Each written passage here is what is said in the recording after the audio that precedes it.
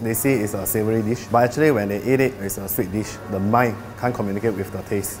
Hi, I'm Francis. I'm a chef owner of Non Entree Desserts Cafe.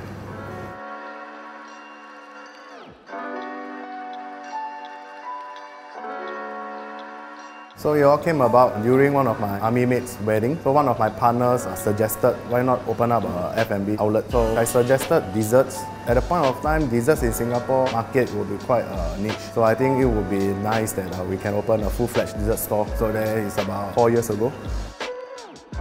One of the signature dessert that we have is a bak chor mee. For the tea jelly, tea leaf will set into a jelly. We got a mango lassi foam. Here I'm using mango puree and a yogurt. For the noodles, I'm using uh, passion fruit, and uh, for the setting agent, I'm using uh, mung bean flour and pectin to create the noodle effect and the texture.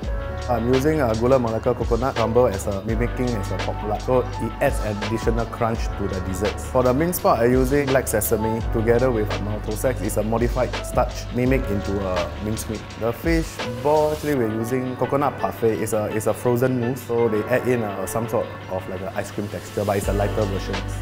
I want to transform our local street food into a dessert form, so I think it's quite fun. So for myself, I like to create things that what you see is not what you eat. Not all have the chance to use chopstick to eat a dessert, so I think it's quite fun for a dessert to do that. So next we got a nasi lemak dessert. So in nasi lemak dessert, we got coconut shell and uh, nasi, which are using uh, coconut and uh, pandan water to cook off the rice. And we got a pandan foam, gula melaka sauce,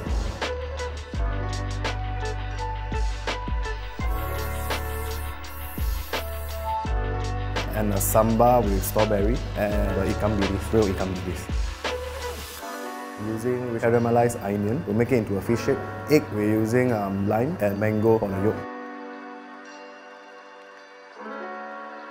The reason why I'm using some of the items is to get back the nasi lemak flavor profile. So at the same time, I got a pandan, I got a nasi, the rice as a main dessert component. So when you eat it, the flavor profile will exactly like nasi lemak, but in a sweet versions.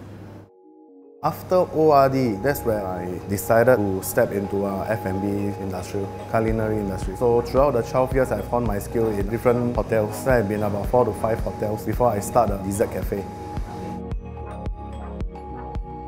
So we also have a rubber ducky dessert. Before we open daily operation, so we will set a layer of uh, sour cream pudding. Then uh, when during service, so we will add in uh, two scoops of mango puree and probably a scoop of a sago. Then after that, we will add in the lemongrass foam to mimic as a bubble. And lastly, we will coat the rubber ducky with a layer of glaze, a yellow glaze on top, and finish off with a small little foam of rubber ducky head. Oh, this is my very first menu which I come out. So the flavor profile is similar to a Chinese dessert which we call Yang Zhi Gan Lu in Ang Mo version. I believe more general public will get lah because it's light and refreshing. Hope can bring some uh, childhood memories when, yeah, for the rubber ducky.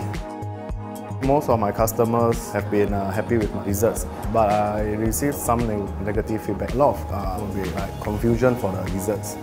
So visually, they say it's a savory dish, but actually when they eat it, it's a sweet dish. The mind can't communicate with the taste. So when I see the confusion in their face, which I actually, in my heart, knew that I already achieved what I wanted. The most rewarding part for my job is to showcase my creativity. At the same time, probably can groom the next generation of a pastry chef. Most important for me is uh, to see my customer happy face when they walk out of my cafe. That is the most satisfaction that I can get.